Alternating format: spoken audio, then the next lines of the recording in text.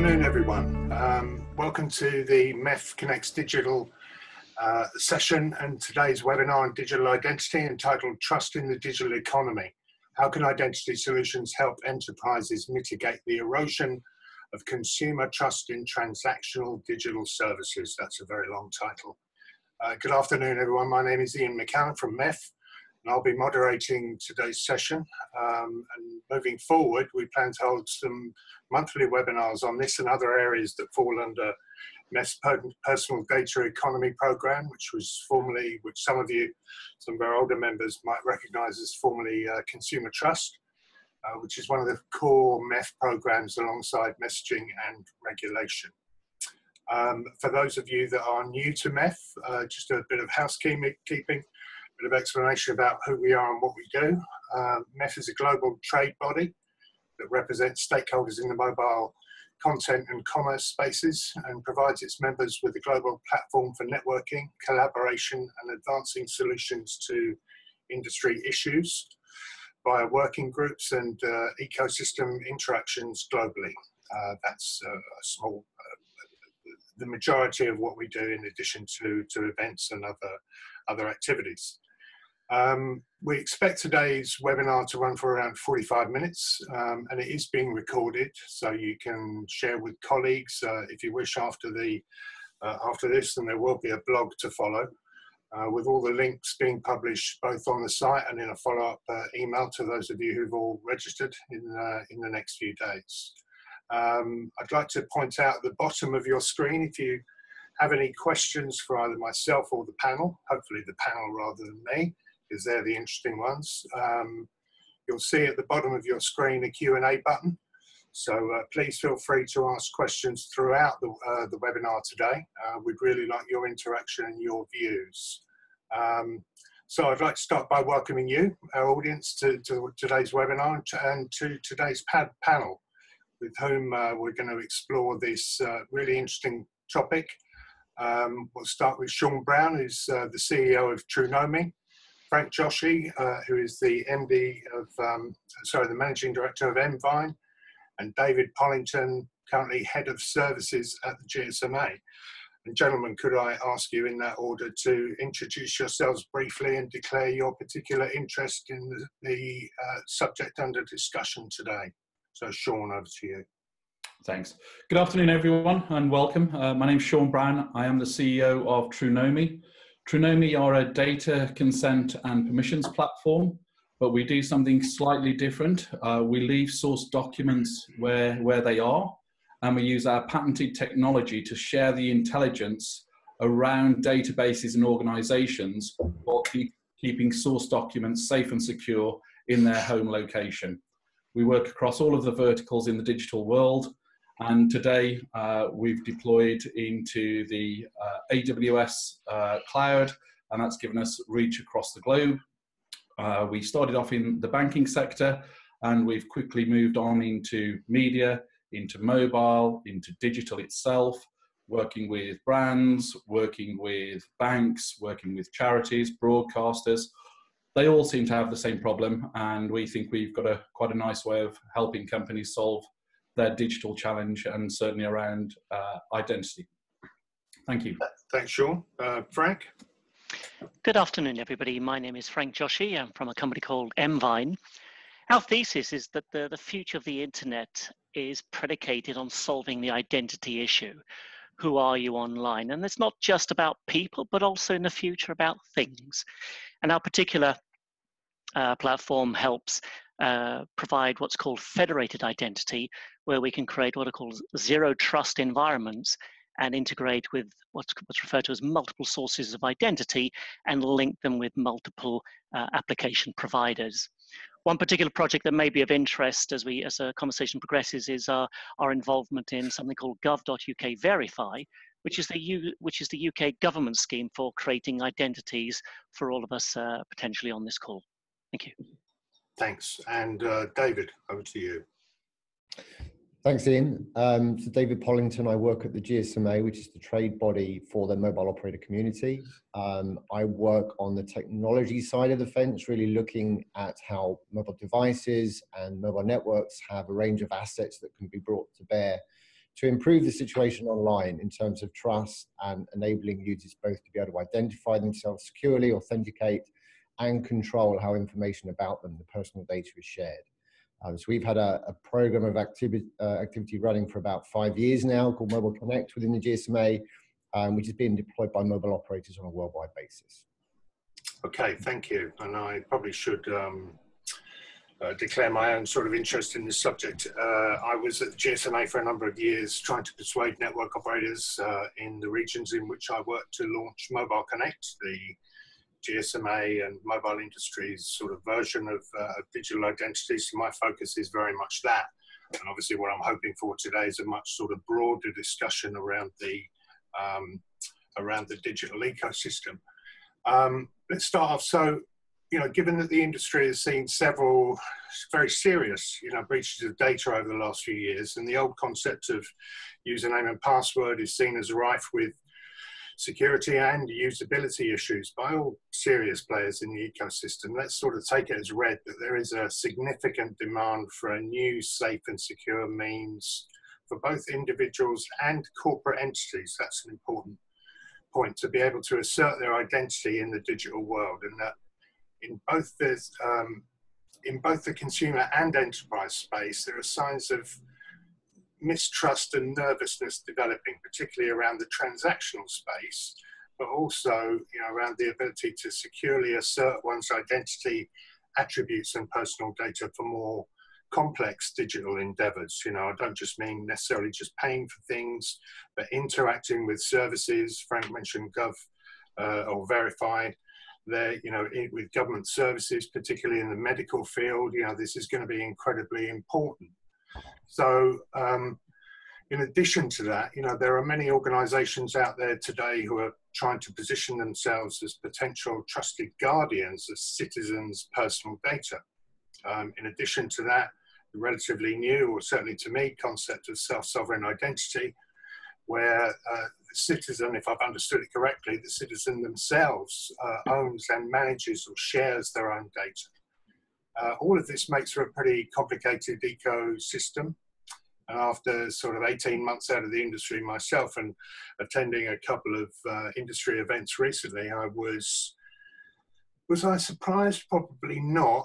Um, but you know, it, it, I was a little surprised at how sort of complex and diffuse an environment the identity sort of firmament had remained. You know, even perhaps more so than than when I last visited it. So for those um, who are on the webinar who perhaps uh, don't know too much about identity, if we can start with some definition stuff. If we can start with basic definition here. Um, so, for example, the GSMA in a report with the World Bank last year defined a digital identity as a collection of electronically captured and stored identity attributes, including biographic data and biometric data, that uniquely describe a person within a given context and are used for electronic transactions. So that's quite a, um, that's a really interesting take on what identity is. Does the panel agree with this definition as a starting point? And if so, why, why not? Um, Shawn, can I start with you? Oh, thanks, Iain. I think it's uh, I think it's an interesting viewpoint um, because ultimately we first to understand the standards of a definition. So the GSMA is creating its own standard and what it believes is the standard of a different definition in the marketplace. The big challenge we have is, is much greater where, when you move from company to company, from vertical to vertical, and then from country to country. What we're all going to have to agree on is some form of identity. Today, the one thing that we all associate with identity perhaps is a passport but that's not necessarily a means of identity, it's a means of travel. It's a permission to allow you to travel in country. So if we come back and look at what the GSMA have said, they're, they're stating that it is a group of documents that are combined together to identify you, myself, or anyone else. but those underlying documents, it is there where the first problem begins in this environment. Because if we don't use the same baseline of doc documentation, then there is an argument to state that we could actually be looking at apples and oranges when we're trying to compare people or compare particular services. So I think the fundamental question has to go back a little further than what the GSMA may have addressed and understand what it is that's going to be used to formulate that identity of a human being on an exact basis. Uh, before we just move over to Frank his view on that, Shawn, is, do you have a view on who, uh, on you, you, know, the the idea that there is somebody who will, uh, we will all get together and you know decide exactly what these definitions are? Do you think who do you think that person is or that body is? Well, in, interestingly, for for years, uh, Iain, you and I both have a mobile background, and if you think today, uh, one of the organizations that could provide a definition is actually the mobile operators. They hold something that is absolutely unique to you and to me, and that's our mobile phone number. And if you look at how many people hold a mobile phone around the world today that's actually live and usable, that could be a very basic form of ID that could form the foundation layer of an identity of someone and move from there. And it already works across border. There is already an infrastructure that's understood that carries that information that allows you and I to speak and also to message and do all the other great things that we can do today on a smartphone. Okay. So that's one of the first places. Okay, thank you. Uh, Frank, if sorry, if you can remember the question. Um, or, Thanks for giving to me first. uh, Yes, so yeah, your your understanding of, of identity and and you know have the GSMA sort of got it right there? Is it not right? If not, why? And uh, please, your view on that be very welcome. It's a great start. And as, as I think everybody will appreciate, uh, identity is quite a complex subject. It's also about context. So as Shawn mentioned, you know, whilst the mobile operators know a lot about us given that there's a, a link between an individual and a mobile number, that one of the big problems is that that's an attribute associated with you as an individual, but who's the person behind it? Uh, because that still could be a fraudulent actor. So there's got to be a distinction made between user attributes and verified identity. And how do you assert that verified identity in the appropriate context. Mm-hmm. So, for example, as, as Shawn was mentioning, it's great that we've got, we can fall back on what's called a document checking service to, we rely on, for example, the, the, the driving license and passport. And as long as those were created and they bound the individual successfully to those documents, then if you can go back to the passport office and say somebody's rocking up as uh, as Iain, here's his photograph. Uh, passport office, is that a valid passport? Yes. Uh, therefore, can I now assert this to be Iain in this context going forward? The answer is yes in that case. But still, it comes back down to whether the individual was properly bound at the very start. Otherwise, these are all attributes which can have strong authentication going forward in time, but if you were a dog to start with, you're still a dog going forward in time on the internet, and hence the, the very famous uh, the cartoon. So as I said, you've got to you've got to separate the, the the whole issue of attributes associated with you, and you being verified successfully. But just to add to that, if you don't mind, there's there's a number of schemes that are already starting to to potentially develop in the market you've got the likes of the, the government, which is creating something called gov.uk verify. And the idea is that you will use an existing, what they call an IDP. There are five commercial companies that you can create an identity with. And guess what? They go through the document checking service, amongst other things, and uh, they, they tap in on mobile attributes to create an identity for you, which you can assert to access government services. And there are other players in the market as well, such as uh, banks that may be coming on board through open banking and, and other schemes that uh, look as if they're going to start to emerge over time. Yeah, uh, we can talk about that actually a little bit more in terms of uh, uh, who the principal actors are in the in the identity ecosystem in a second. Um, but David, um, this is probably uh, uh, so. A, it, it, I'm handing you a poison chalice here. So that that that uh, that definition of, um, of personal data seems pretty good to me. Uh, is, does it still does it still ring true for you? Yeah, I mean, I, I think the thing we've got to really look at here is is what is the purpose of this uh, identity? You know, we, we've been talking about um, how do you actually do a kind of a, a know your customer verification, take going from physical documents through to a digital version of, of that identity to use it on online. But the point is, is do you really need that in the first place? You know, to go back to what you were saying about earlier, Iain, you were talking about um, usernames and passwords. So we need to be very careful and delineate between identity of an individual and knowledge of whether or not this is the right person that is making a request to access a particular resource or to assert um, a particular claim. So for instance, if I'm only trying to assert that I'm over 18 so I can buy fireworks, you don't need to know my identity. Um, if I'm trying to you know, make a, a, a, commerce transaction, you need to know a verified shipping address and you need to know my name. But the information that we share needs to be proportionate to, to purpose. And if you think about it, it's very rare that we get out our passports or our driving licenses in the real world, in the physical world, to prove our identity. We transact all the time across a whole range of different services.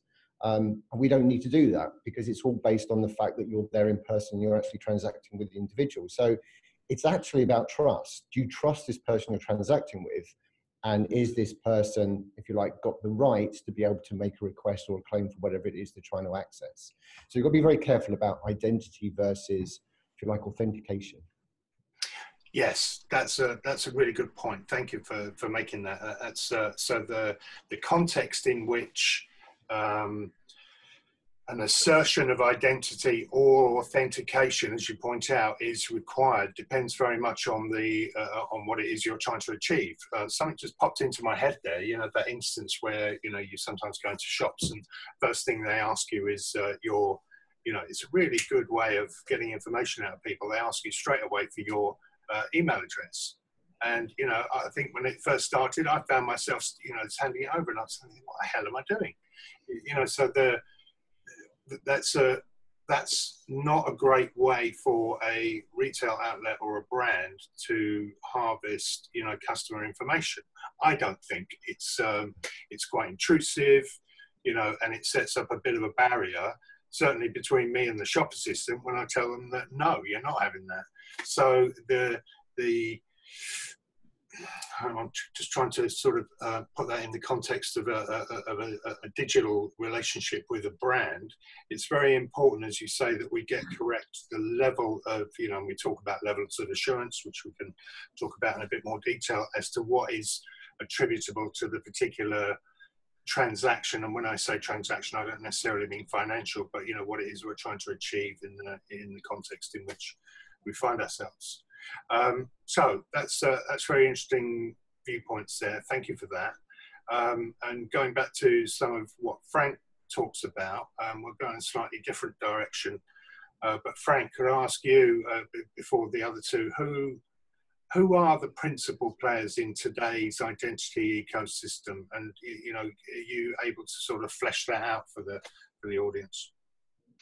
Absolutely, and actually, just picking up on David's point, and it's worth to uh, reiterate, there's a big distinction between, let's call it day one, verifying you as an identity to access a service, and then you on you, you on an ongoing basis authenticating yourself.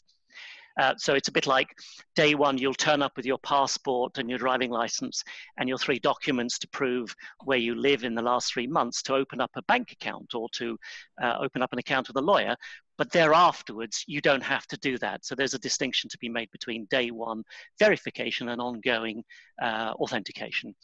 So there seem to be a number of things happening in the market. I, I mentioned earlier that the UK government is trying to, trying, uh, is instantiating a scheme and has been for the last four years called gov.uk Verify. There are now about three and a half to four million uh, UK citizens uh, using it to access now about 20 different government services there's a reason why perhaps all of us on this call don't know about it, and that's possibly one of the reasons for its current failing. It was supposed to achieve 25 million users by 2020, mm. but uh, let's not get political about um, how, how our governments are operating at the moment. Everybody's smiling. So there's a scheme there that's being run by the government, which is going to create and has created a government assured identity to what's referred to as LOA2, a level of assurance two, where the identity providers have actually taken individuals through a, a series of checks uh, using driver's license, passport, and uh, identity documents. But there are other schemes and players that are starting to emerge and are starting to talk about providing identity services. You've got uh, the likes of MasterCard and Visa, who have made all sorts of announcements in the market about creating some kind of identity framework and fabric. and you can see them as being potentially logical players in that space because apart from having to conform ultimately uh, within the PSD2 and MIFID 2 environment, you can see that they've got some global infrastructures that they'd like to leverage and continue to monetize. Another interesting group are the banks. Now, in a lot of other countries, in Nordics and in Canada and in other places around the world, the governments have actually mandated the banks in those countries to become identity providers. We've not done that in the UK, but through open banking, it looks as if that uh, the way in which that has been written, the banks themselves could also become identity providers. And then there are other schemes involving uh, specific uh, private sector organizations, but perhaps I'll leave those for now. Okay, all right, thank you. Um, Shawn, back to you. In terms uh, of, sorry, in terms of, uh, yeah, who, who, who are the principal players in the ecosystem for, for, from your perspective? Well, well, I think we, we have to sort of sit up and take note of the big organisations who are really trying to make headway in this space. Um, Frank already mentioned uh, Mastercard, Visa, but also people like Google, uh, Microsoft, IBM. They're all forging ahead. They're they're putting huge budgets aside and re- re- reported to be in the billions to actually try and solve identity on a global scale. Uh, but let's just reflect on something that's just happened this week because it would possibly seem like a next logical step for a company that made a big announcement this week, and that's Apple. Apple already have a huge amount of data. They hold more credit card details than anyone else in the world. So if you want to start talking about identity, they've just made it now possible for you to sign up for a new credit card with MasterCard technology behind it literally online. They know a huge amount about us. And what's more, they're already trusted by a huge amount of people. And certainly we've got the other side that, that certainly doesn't like Apple and the way Apple operates in its walled garden.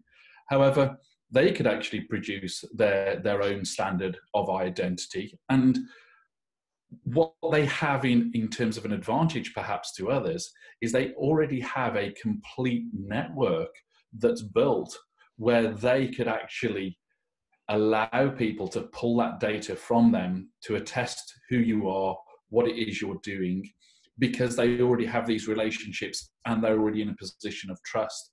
And I think one of the big challenges anyone entering this space is going to have is, is that end to end connectivity between whoever's produced the identity here and however it's produced and how I can share it and use it over here. And so I think people like Apple, if they wanted to go down that route, could be in a, a good place.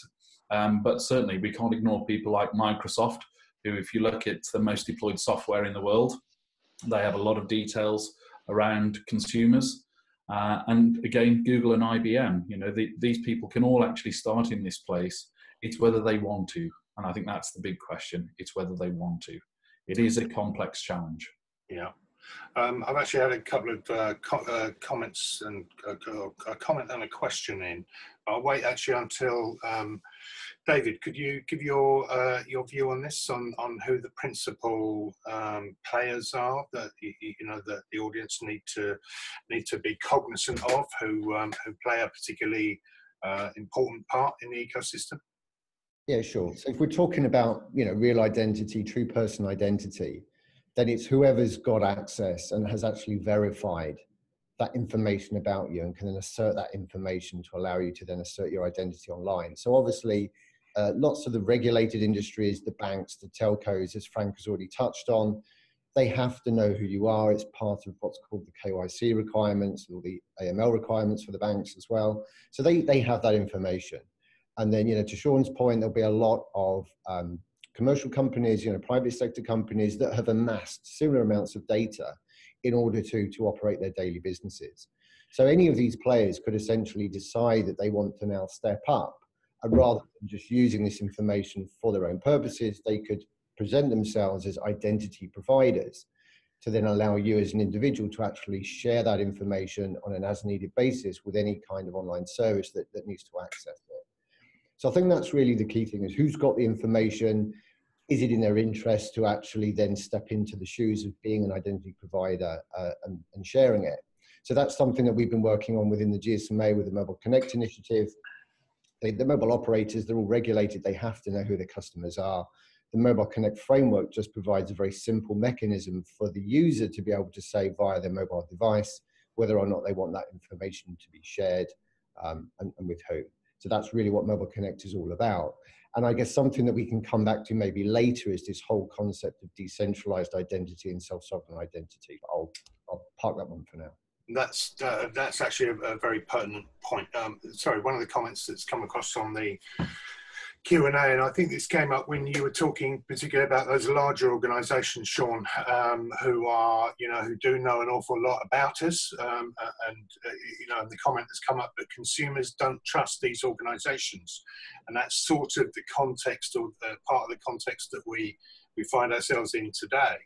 Uh, you know, whether this is um, a, a knee-jerk reaction to some of the worst excesses that we've seen of the large digital players and, and their sort of perceived arrogance in the way that they um, they uh, use the information that they have, uh, the inherent weaknesses, as there will be in any ecosystem, you know, that are exploitable by bad actors. Um, and so we are talking about, uh, you know, the the incidence of uh, of trust in digital transactions. And I suppose that throws up the question who are the best guardians of people's data?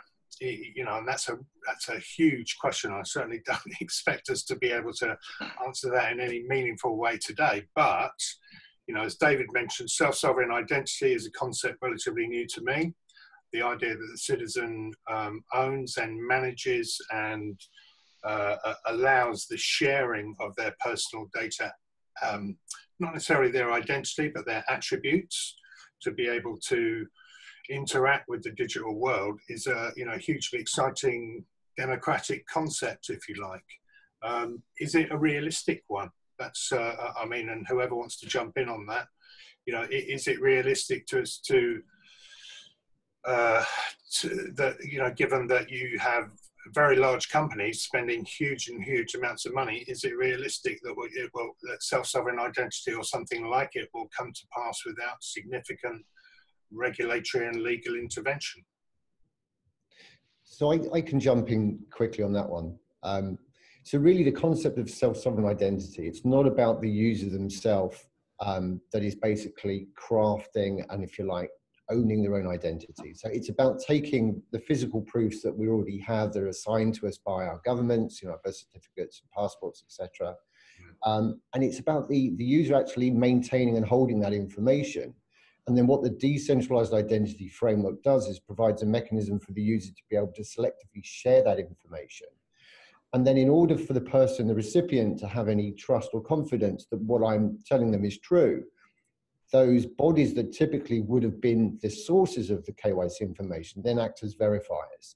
So I can say to a new merchant that my name is David Pollington, I live at a particular address, they don't know whether or not that's true. They don't know if I'm a fraudster, but they can actually go and verify that information with, say, a telco or a mm. utility company or a bank. And then you get this kind of like, you know, microfinance approach here, micropayments, where, you know, the verifiers then actually earn a bit of money for actually verifying that what I've said is actually true.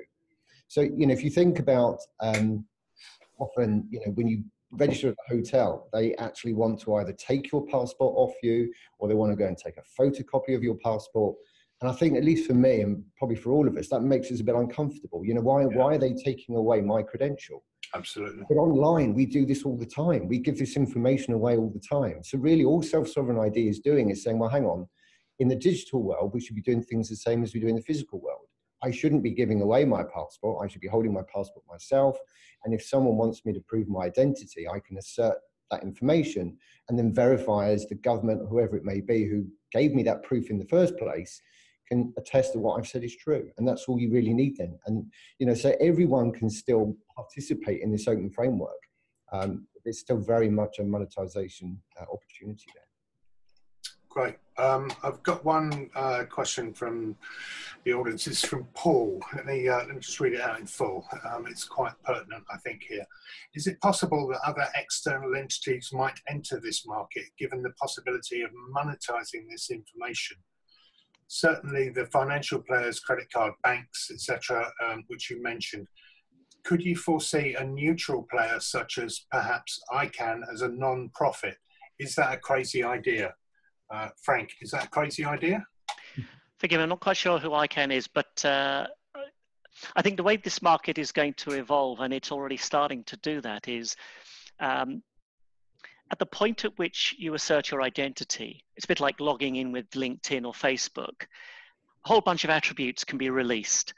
And rather than coming from one place, which is where a lot of people who are talking about a self sovereign identity, thinking uh, they're trying to create a wallet of everything about you. Mm. The way in which it's, it looks as if it's going to work is that I, I knock on a door to, to access a website, for example. I kind of lean over my shoulder and say, Look, you don't trust me. My bank will, will vouch for me and say that I am who I am. I'm now going to link to my university, who's going to vouch for my degree. I'm going to link over there to the passport office, and I'm going to link over there, and I'm going to link over there to actually instantiate those attributes at the point at which they're created. And even at that point in time, the data associated with those attributes don't actually have to pass across to the other organization. That organization just needs to know I've got a driving license, I've got a passport, they're all valid, I've got a degree certificate, and so on and so forth. So the other thing that's, that's, that's starting to happen is that you put the user in the flow and allow them to not just consent for those attributes, but also to consent for how those attributes are, are translated across. Okay, um, thank you. Shawn, um, uh, I mean, bearing in mind that, that, so can you envisage an organization, um, I've just got an explanation actually from Paul of what ICANN is, but, you know, a non-profit organization that will, I suppose, manage, you know, be the uh, a centralized repository of, uh, of data and that holds that throws up a, a whole he heap of questions you know rather than have this sort of multitude of uh, commercial organizations uh, and the complexity obviously that that brings. Is there an opportunity for a, a, a single entity or a few few identity providers um, you know doing so on a non-profit basis? Is that a good idea I, I think the, the non-profit basis makes a lot of sense. Uh, I can understand why that would be non-profit and it could be funded by us as individuals in, in that sense. Um, I think there's the broader challenge uh, that we'd face with this is actually you can probably do it on a country level, but you certainly wouldn't be able to do it on a global level can you imagine the Russians, the Chinese, the Japanese all putting all of their data in the same silo and go, hey guys, it's all good. And then, oh, let's bring in North Korea and South Korea and the USA and the rest of Europe and all put it in one repository. I mean, it's a hack, it's a hacker's dream to be mm. able to then get all of that information. So whilst up here it seems like a great idea, and in the, the, the sort of ideal world, it would be wonderful to have one single entity. For those reasons, it will never happen there are, there are too many political barriers in the way to prevent that from happening. But I do believe we could absolutely have organizations in country, and then the only question is how do you glue those countries together in terms of transferring the data? So standards and interoperability are, the, are, the, key issues there. Okay, um, I'm a bit mindful of time. Um, we've got another uh, question here from Frederick. Again, let me read this out.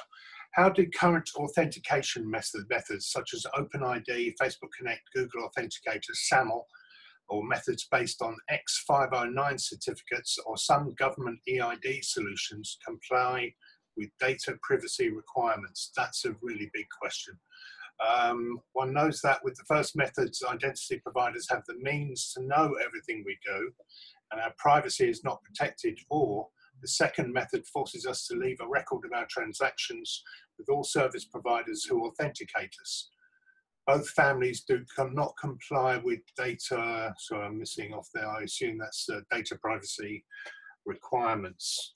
Um, that's a really big question there, I think. Um, how do current authentication models comply with data privacy requirements? Anyone in a position to answer that question? It's a it's an interesting question. It's a big question, as you said. I think we've all just taken a deep breath and gone. Frederick, Frederick, Frederick, that's a really good question, and uh, you get the prize for uh, for stumping us. Um, it's not a question. I'm also thinking of time where we're sort of fast running out of time, and that's a really big question. We could uh, certainly, I think, it, um, I've had question, I've had conversations, I think, with David and, and his colleagues around uh, this type of stuff. So it's not that we can't answer it. I, I think um, let me try and let me try and address that in the uh, in the blog to follow. Um, I'll certainly uh, keep that uh, uh, on board and, and try to address it. Uh, thank Iain, you. could I just step back on the previous question, which may be useful to kind of get to the end of this? Please. So, so as I said, the, gov- the current government uh, through the gov.uk Verify scheme are looking to throw out the scheme to the private sector. Hmm. And part of their ambition is to also create a, a set of standards to which organizations could ascribe themselves to so that they can become identity providers. That could include the banks or MasterCard or whoever. Because ultimately, when we're talking about creating um, a ubiquitous interoperable scheme, we've also got to think of you know us as citizens and the users who will actually trust it. Mm-hmm. Because, I'm, because at the moment, you know, who's who's now who's now going to use Facebook to log in somewhere apart from the you know people are not actually going to trust you logging in as Facebook. Plus, you're not you're not the client there. You have no you have no access to your. You have access to your data, but you don't own it. Mm-hmm. So the government is building some frameworks, uh, trusted kite marks, uh, if you want to call it, and some standards by which you know people could become um, uh, identity providers without with within Europe, there's something called the EIDAS scheme. If I got that right, David, and yeah. and that is something that's that's now being uh, put into place throughout Europe, where one country will accept the identity of an of an individual from another one, and we've already got some interoperability between the the, the government scheme in this country and the government scheme there. But again, I've mentioned the word scheme, and that currently operates within the sort of the governmental level. I suspect that there may be schemes that may end up working in finance, in healthcare, and in other sectors, because they will all have their own uh, slightly different nuances of levels of assurance and also the attributes that are needed for you to actually assert your identity and do something with it. Okay. Um, yeah, so I've just got another question in. That leads me uh, very briefly. I'd, only, I'd like to touch on this quite briefly. Um, I, I, I know about Verify uh, in the UK. I think it's um, from a security perspective uh, a really really good uh, initiative. I would um, say that the usability uh, in terms of setting up and using it has not been the best experience I've ever had. How important is that? You know, uh, optimizing that balance between security and usability for um, uh, for an identity solution. I think I know the answer, but uh, you guys. Look, I, if I'll, I'll I think the answer is obvious. It has to be as easy as possible. But equally, uh, one little uh, story. About a year ago, January, you could use your verified your verify identity to access a government gateway in order to speed up you getting a rebate guess what? There was a spike in traffic. so, whilst these things can be problematic, unless you can persuade the citizen that there is sufficient value to invest in doing it because it's interoper- interoperable and it can be reused, then of course people will say, well, it's, it's, it's a headache and therefore I can't be bothered. Okay. Okay. Um, given our time, and we've got a couple of questions left, I've just had a, a further uh, interjection from Lee. Lee's put, we talked a lot about identity, which we know is complex. What about building trust? Um, so with that in mind, just moving on to the last two sort of questions that I uh, initially put to you as, uh, as part of the webinar is um, what types of identity solution are most likely to succeed and why? Um, David, can we start with you?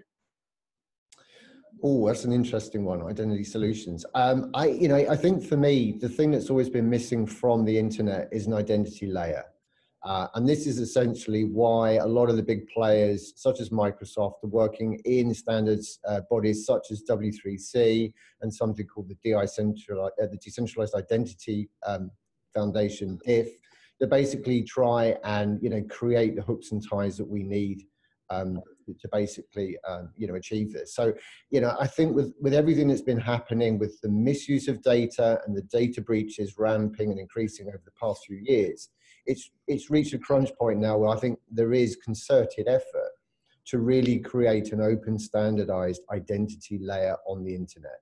Now, whether or not the big players want to actually use this or whether they like their silos is obviously a very you know good and open question. So it's difficult to see the direction that it could go, but at least I think there is sufficient momentum around these more open, decentralized approaches that I think they do stand a good chance of, of succeeding and, and driving a kind of a sea change. But let, us see.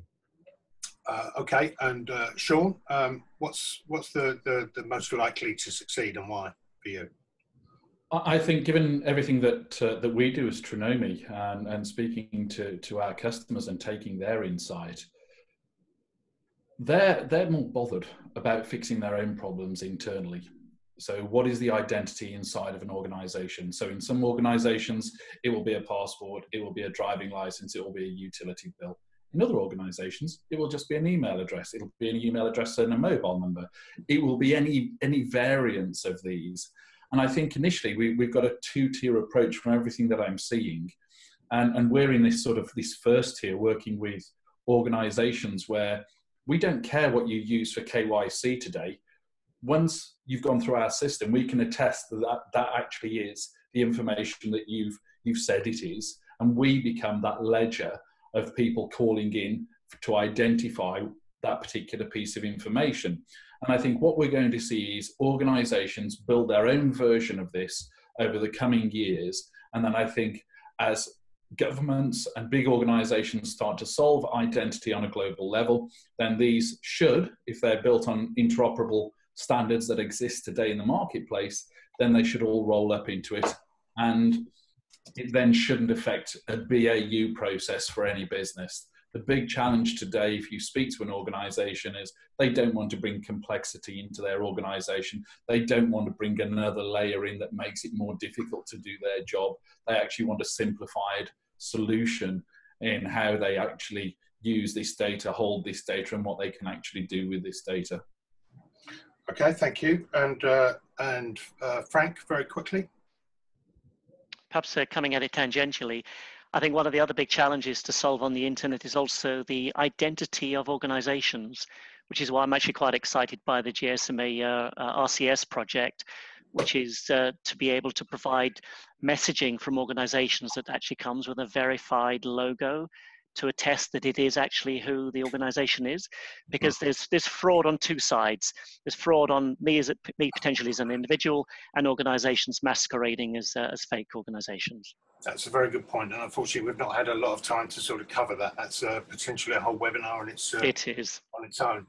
So um, one final question and sort of going back to uh, you know what what lee said. Uh, you know we've talked a lot about a very complex subject what about practical stuff? So if we've got enterprises on the call or look at this webinar, you know, later on, um, what are what are the practical steps that brands and enterprises can take today to ensure transactional security moving forward? Again, that's a massive question. So please, you know, jump in as you as you feel as you feel appropriate. I think so. So my take on this is perhaps a, a little a little different. Um, I think it's time for organizations, whoever they are, that hold our identity and hold information that can identify us, any type of information. That's great. And, and we subscribe to these services and we, we pass over lots of information in order for these services to run. But if you've ever gone to have a look at what information is held about you by an organization and how difficult it is to get that information from the organization, I think there's a big thing around corporate social responsibility and consumer data that needs to be addressed. And the brands that grab this quickly and do something about it can really make a step change difference in the marketplace. If you imagine the data that's held by a mobile operator on the likes of the four people on this call right now, and then the rest of the people. The, the level of information that's held is, is absolutely huge, but we don't know why it's held, what purpose it's being used for. And I think it's time for people to stop harvesting data for, for data's sake and start saying, hey, let's be upfront about this. We're going to pull this data, we're going to use this data for this, and this is how you can change that. We want you to be a loyal customer to us. And the first way of doing that is by being loyal to the customer in the first instance and exposing that data to the customer so the customer can now make an informed decision of what's happening with that data. Okay, so it's customer empowerment as a, a as a as a mechanism for solving that issue. Thanks, Shawn. Uh, Frank. I concur with what Shawn has said, and one of the biggest challenges out there in the market is that most large corporates could not actually answer the question as to what data they hold on on on us as individuals because if you if you actually peel back quite often there's some information about you in say an Oracle system and an SAP system a zen or whatever it is there yeah. could be five or ten or 20 different uh, databases Absolutely. and they haven't even bothered to create a, a single common UID to link you all together. The mm. big joke is even even some of the big global banks cannot report to their own board how many customers they've got. So the interesting thing is until they solve the, the good old fashioned um, single customer view or golden record of an individual within an organization, uh, they've got all sorts of challenges um, ahead of them.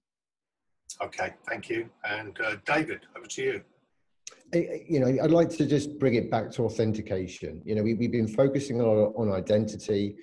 You know, it, it's a fact of life that we've had to give away our personal data to a lot of different companies, a lot of different services. They have this information. They're beginning to understand now the, the toxicity of having this information. So it's vitally important that they protect it. Um, and they need to protect it not only you know to protect the, the privacy of the actual individuals that they serve but also for their own business interests because essentially every account user account that they have that they've registered has a monetizable value for them you know customer lifetime value. So really it's about for me authentication. It's about let's make sure if you've got this data you are very sure who this person is that is now trying to access that data or use this data so bringing into effect, you know, multiple factors of authentication and trying to increase security whilst keeping things simple for the user is a very tricky balance to get to.